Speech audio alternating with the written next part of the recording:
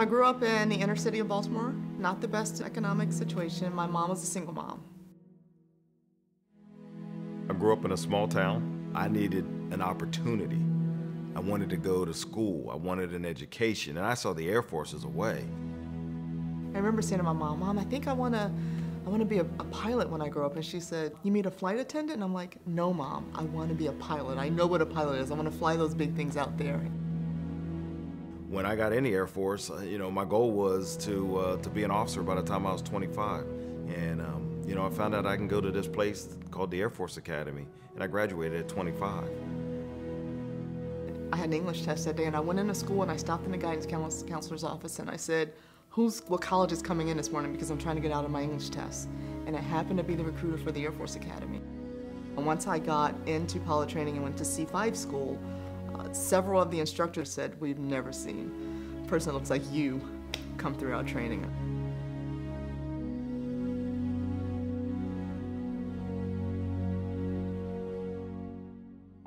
It's about as long as a football field and the pilots will sit three stories up. Mammoth machine is what I like to call it.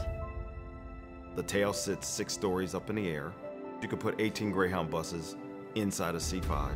So it's a pretty uh, phenomenal aircraft. I worked uh, as a squadron commander uh, for C5 maintenance. So literally uh, my unit, my squadron was in charge of making sure that Sharron's plane flew. You get in, you climb up, it's um, I mean, I don't know, other than the word empowered, that's my favorite word. I mean, you were totally in control. I had uh, 18 C-5 aircraft, I had 13 uh, C-17 and 27 KC-10 aircraft with the refuelers that I was responsible for. 24 hour a day, seven day a week mission. Pretty awesome job. Little 5 for me, I'm the absolute shortest person you can send to pilot training, and I fly the largest machine they have in the inventory.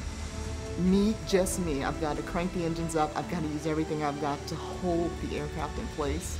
And then take your hand and pushing those engines up, and you jet off. And um, that's a lot of fun. What it does for our nation is pretty incredible. It has the range to, to deliver whatever we need, wherever it needs to go. We could deliver grain or good, but on the other side, we could also deliver the clenched fist.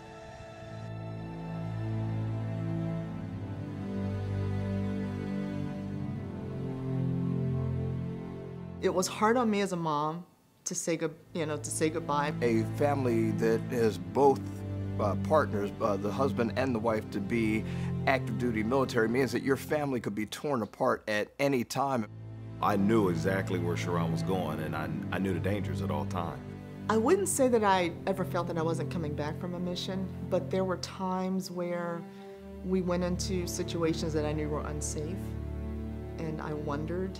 I remember when Sharron was, uh, she was gonna fly into Baghdad, and I was always out there when, when she took off, and uh, I remember watching her, and a uh, big lump in my throat. It was a culmination of her dreams coming true, and then going out there and, uh, and doing everything that she needed to do for our country and putting it on the line. I mean, words really can't describe how I felt for her and what she was doing. It was always with a feeling of pride to be able to take part in what our country was, was trying to accomplish.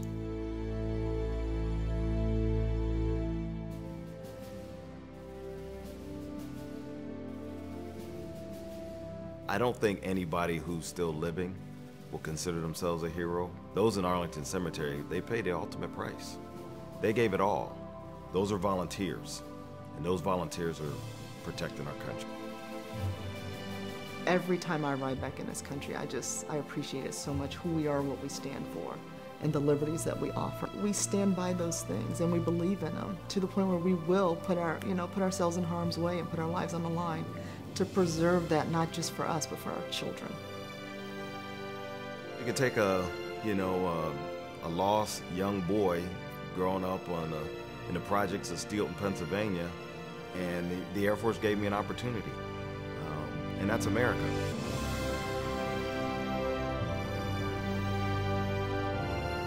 That's why we wear this uniform. That's why we're Americans. That's what we stand for.